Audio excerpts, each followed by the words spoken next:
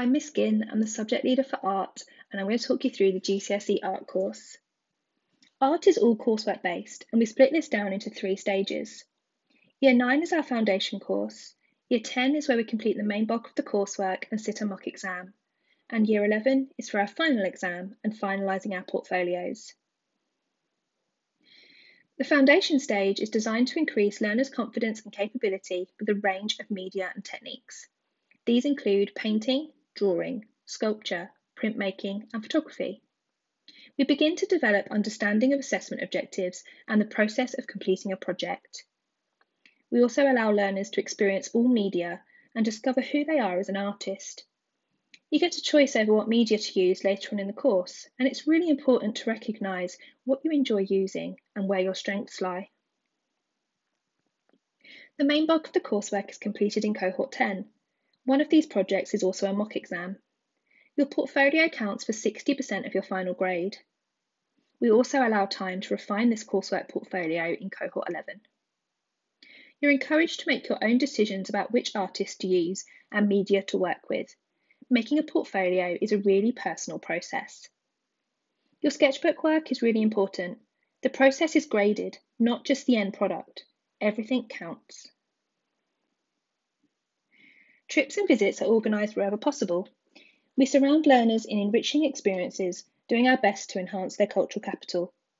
Online resources are also really encouraged, and the provision for these has really increased recently with online gallery tours and workshops. In Cohort 11, we sit our final exam. This exam counts for 40% of our final grade. The titles come from the exam board, and each learner chooses one. The exam starts in January and ends around Easter, giving approximately 20 hours of classroom time to complete the preparatory work and plan a final piece. 10 hours is the actual exam, is the time used to make the final piece they've previously planned. There is no written exam.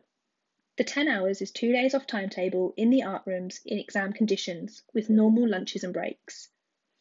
At the end of this whole process, we get to have an exhibition it's usually part of the summer arts evening where we can celebrate and share artists' work. Who will thrive at GCSE art? Learners who genuinely enjoy the subject. You don't have to be good at it, but you have to enjoy it to stay motivated. Learners who like to challenge themselves to be creative. Learners who are prepared to keep trying and exploring even when things don't go the way they hoped or planned.